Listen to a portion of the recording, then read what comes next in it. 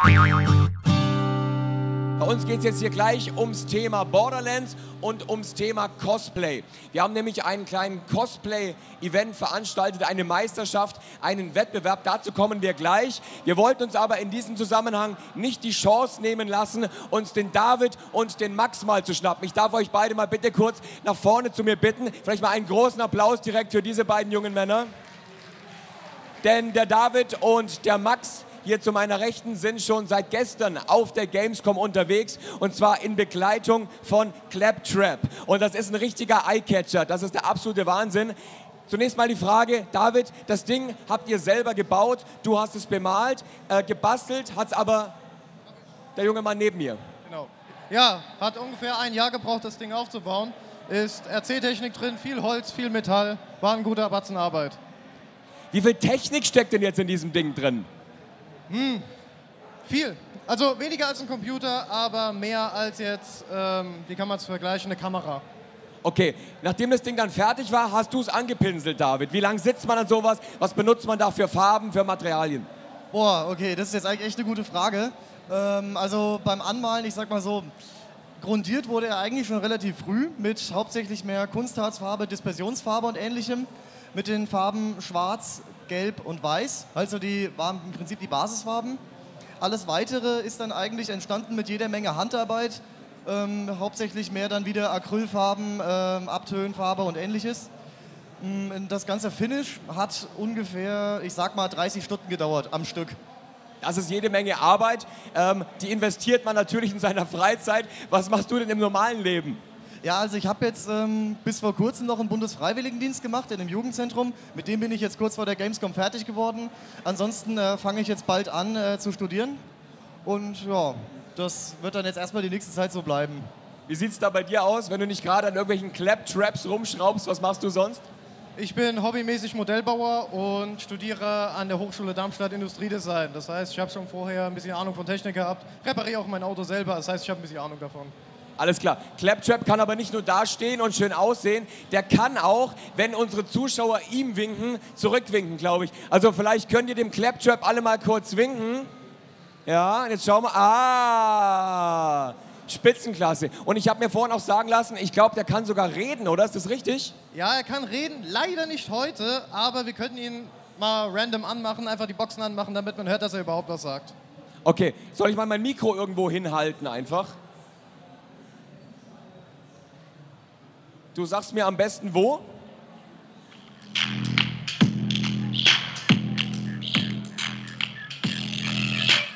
Hammer, also wirklich ganz, ganz toll. Weil ein Riesenapplaus bitte nochmal für unsere Claptrap-Konstrukteure. Spitze, ihr haltet euch dann bestimmt auch noch ein bisschen hier bei uns in Bühnennähe auf. Vorsicht, hinter dir, da könnt ihr alle dann noch Fotos machen mit Claptrap. Euch beide würde ich jetzt bitten, euch da hinten einigermaßen friedlich zu verhalten, denn wir kommen zum eigentlichen Teil dieses Lots, nämlich zur Preisverleihung. Und ähm, zu diesem Zweck würde ich jetzt gerne unsere drei Gewinnerinnen auf die Bühne bitten. Einen äh, ganz großen Applaus bitte für die Bella, die Roxy und die Sarah. Oh, da geht aber noch ein bisschen mehr an Applaus, oder? So muss das sein. Schön, dass ihr bei uns seid. Ihr seht ganz, ganz bezaubernd aus. Das kann man schon mal vorweg sagen. Und vorweg möchte ich auch noch ganz kurz erzählen, wie es eigentlich dazu kam. Also es lohnt sich immer bei GameStar, bei High Five, bei Nino Taco und so weiter vorbeizuschauen. Denn neben unseren Artikeln gibt es natürlich auch Videos und auch immer wieder coole Aktionen, Verlosungen oder eben Wettbewerbe wie dieser hier. Und alle Community-Mitglieder hatten die Möglichkeit, bei dieser Cosplay-Veranstaltung mitzumachen. Es galt, Cosplay-Fotos von sich einzuschicken und dann richtig coole Preise hier bei uns auf der Gamescom in Halle 10.1 ab abzuräumen. Und das sind unsere drei Gewinnerinnen. Ähm, ich würde sagen, es gibt keinen dritten Platz. Es gibt einen ersten Platz und zwei zweite Plätze. Ähm, das lösen wir jetzt direkt mal auf. Der Spannungshalber nehmen wir das mal ein bisschen raus. Unsere Erstplatzierte, das ist die Maya, die steht hier neben mir. Bitte mal einen riesengroßen Applaus.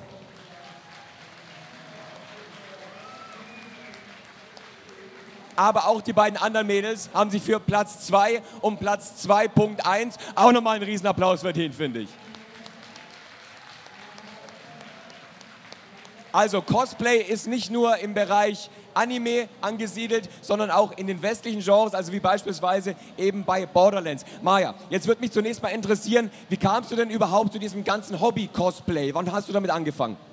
Überwiegend äh, durch Videospiele tatsächlich. Also ich habe früher mal WoW gespielt und dann habe ich halt auch Kostüme dazu gefunden und ja, dann kam eins zum anderen. Habe erstmal mit einem äh, Nicht-Game-Cosplay angefangen und dann ist immer mehr Videogames in den Vortritt, äh, also in, in den Vordergrund. Vordergrund gekommen, danke. Und ja, und dann habe ich immer weitergemacht und jetzt ist es aktuell Borderlands. Jetzt hast du gerade gesagt, du hast mit einem Nicht-Videospiel-Cosplay angefangen. Was war denn dein allererstes Cosplay? Äh, das war aus äh, Forgotten Realm, äh, ein Dunkelelf, ein Drow. Okay, da steckt jetzt natürlich jede Menge Arbeit drin. Kann ich, Vorsicht, die Damen. Wie lange braucht man denn jetzt für sowas? Also ich würde behaupten, als ambitionierter Laie ja, im Thema äh, Cosplay würde ich sagen, das ist schon relativ aufwendig, aber ist jetzt noch überschaubar, oder das, was du jetzt trägst? Also es ist mein aufwendigstes bisher, aber ähm, ich habe so circa vier Monate mit Pausen gebraucht. Und äh, das war mein, wirklich mein aufwendigstes mit diesen ganzen kleinen Teilen und so. Und vorher war eher alles schlicht gehalten und jetzt habe ich halt auch LEDs verwendet und, und äh, Warbler, dieses tolle Cosplay-Material und äh, ja, und Bauschaum, auch ganz toll und äh, ja, war auf jeden Fall aufwendiger als alles, was ich bisher gemacht habe. Okay, dann gehe ich mal hier eins weiter. Ich dränge mich mal hier dazwischen. Wie war das bei dir? Warum ausgerechnet Borderlands? Fasziniert dich da das Character Design oder irgendwie die Artworks? Warum hast du dich ausgerechnet für dieses Spiel entschieden? Also ähm, vor zwei Jahren auf der Gamescom war das ja äh, hier vorgestellt, also Borderlands 2. Und nachdem ich das halt dann gespielt habe, fand ich das Charakterdesign erstmal total gut. Dann das äh, ganze Spiel mit der Cell-Shade-Aufmachung und die Story hat mich halt total geflasht. Also habe ich mir gedacht, äh, mach mal ein Game-Cosplay, weil davor habe ich nur Anime und Mangas gecosplayt. Und ja, dann habe ich mir für, äh, mich für Mad Moxie halt auch entschieden, weil ich sie vom Charakterdesign am coolsten fand. Da hast du mir als Anime-Fan jetzt natürlich eine Steilvorlage geliefert. Da muss ich kurz nachhaken. Anime, Manga, Cosplay, was hast du da im Schrank hängen? Äh, wie bitte? An Anime und Manga Cosplays, was hast du da so bei dir im Schrank hängen? Ähm, äh, ganz, ganz viel. Also am meisten aus Naruto. Äh. Haben wir Naruto-Fans hier? Ja, sind einige da. Okay, was noch? Ähm, Fairy Tail. Äh wen machst du da? Die Lucy oder wen machst du bei Fairy Tail? Nein, da habe ich Juvia gemacht. Okay, also sehr interessant, Anime, Manga und Games. Deine Cosplay-Kollegin hat es jetzt gerade schon gesagt, also sie verkleidet sich nicht nur, sie spielt auch selber. Wie ist das bei dir? Nur verkleiden oder auch zocken? Äh, ich glaube, würde ich das nicht zocken, dann würde ich es auch nicht cosplayen, weil äh, ich würde nicht so viel Zeit und Geld darin investieren, wenn ich das nicht mögen würde. Okay, das ist, glaube ich, im Zusammenhang mit Cosplay der wichtigste Punkt, nämlich das Zeitthema. Also der Gag am Cosplay ist ja, dass man nicht in irgendeinen Laden rennt und sich das Zeug kauft, sondern man macht das alles selber. Sonst ist es ja kein richtiges Cosplay. Wie viel Zeit investierst denn du in diese Kostüme? Zu viel. Also immer nach der Arbeit muss ich dann immer noch bis nachts nähen, damit es fertig wird. Aber es lohnt sich. Es hat sich in diesem Zusammenhang auf alle Fälle gelohnt, denn ihr seid unsere drei Gewinnerinnen und deswegen habt ihr ja von uns die Eintrittskarten für die Gamescom bekommen, VIP-Pässe bekommen. Äh, das Spiel bekommt ihr natürlich auch, sobald es draußen ist, da müssen wir noch ein bisschen warten. Und ich habe hier auch noch T-Shirts für euch. Da möchte ich euch direkt mal jeweils eins übergeben. Moment. Einmal bitteschön. Zweimal. So, und für die Maya, die hier den ersten Preis abgeräumt hat, oh, jetzt kommt der schon wieder. Na, na, na, na, na, na, na, na, na, na. Die bekommen von uns ein äh, schickes neues Notebook. Also ihr seht, es macht sich auf jeden Fall bezahlt, wenn man bei solchen Sachen mitmacht. Der nächste Cosplay-Event bei GameStar, GamePro, High Five, Ninotaku kommt garantiert. Sind wir schon gespannt auf die nächsten Einsendungen. Das überreiche ich dir. Und jetzt würde ich sagen, alle unsere drei Kandidatinnen, unsere drei Preisträgerinnen verdienen nochmal einen riesigen Applaus.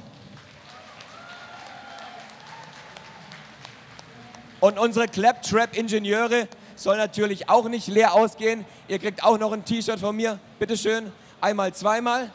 Der junge Mann, der da oben ohne die ganze Zeit rumrennt, der kriegt jetzt auch mal ein Shirt, damit er sich nicht noch eine Erkältung holt. Bitte schön. Ja, so. Und jetzt habe ich hier auch noch welche in der Tüte, glaube ich.